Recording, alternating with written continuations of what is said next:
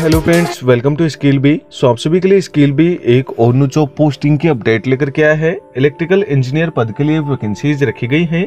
विंजारस contracting LLC company की तरफ़ से वैकेंसीज है। 2000 से 4000 हज़ार आपको पर मंथ पे स्केल दिया जाएगा।